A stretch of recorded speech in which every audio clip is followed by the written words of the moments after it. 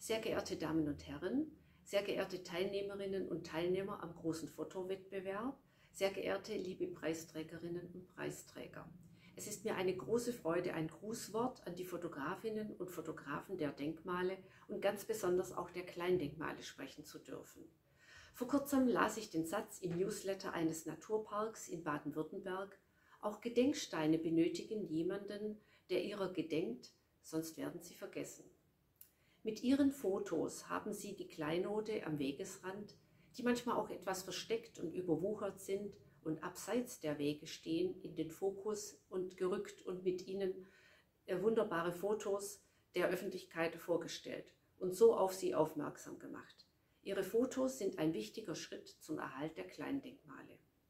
In Baden-Württemberg setzen wir das Gedenken an die und die Fürsorge für die Kleindenkmale seit über 20 Jahren mit einem äh, landesweiten Projekt um, in dem ehrenamtliche Mitarbeiterinnen und Mitarbeiter die Kleindenkmale in bestimmten Gegenden systematisch dokumentieren.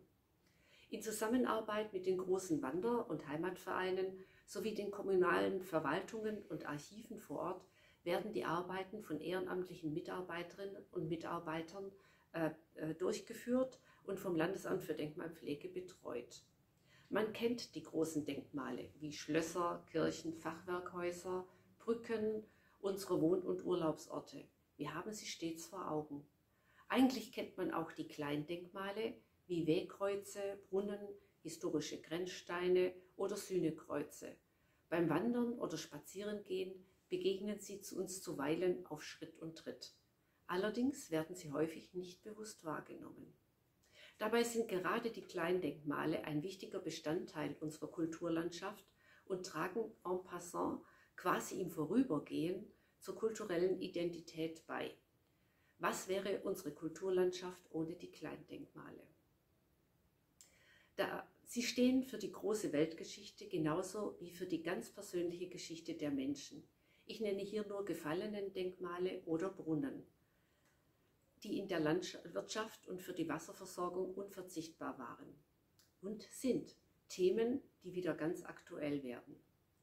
Mit ihren Fotos verhelfen Sie diesen oft unscheinbaren Kleindenkmalen zur Aufmerksamkeit und sorgen dafür, dass sie nicht aus den Augen und aus dem Sinn geraten und tragen somit zu ihrer Erhaltung bei. Ganz herzlichen Dank und herzlichen Glückwunsch allen Preisträgerinnen und Trägern, verbunden mit der Bitte, die Kleindenkmale auch weiterhin im Auge zu behalten und sie in den Fokus zu rücken und damit für das Gedenken der Kleindenkmale Sorge zu tragen.